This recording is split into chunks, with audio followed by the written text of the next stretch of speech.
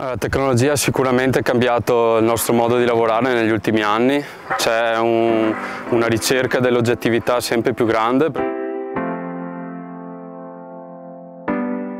Sicuramente l'arrivo di sistemi digitali per oggettivare i risultati di test, valutazioni e quant'altro ha portato in fisioterapia negli ultimi anni dei cambiamenti molto importanti e questo ci permette di avere delle situazioni in cui possiamo prendere decisioni molto più precise sia in termini di prevenzione per il giocatore che di gestione dell'infortunio e che del suo ritorno alla piena performance post-infortunio. Non abbiamo una tecnologia che ci permette di migliorare la performance magicamente del giocatore. Quello che ci permette la tecnologia adesso è di avere sempre e costantemente informazioni oggettive da presentare a, allo staff, ai giocatori e questo indirettamente migliora la loro performance perché riduce il rischio di infortunio. La riduzione del rischio di infortunio ti permette di avere giocatori più in forma in campo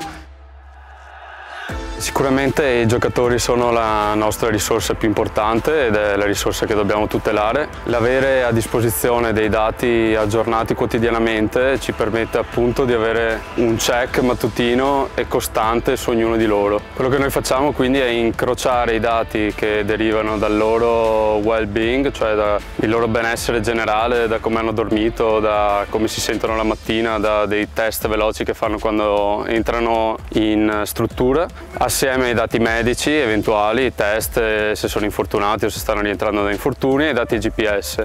Questo incrocio di dati ci permette quindi di avere la situazione sempre sotto controllo, di poter evitare il rischio infortunio o comunque di ridurlo e, e cercare quindi di avere a disposizione sempre la squadra migliore e nelle migliori condizioni possibili.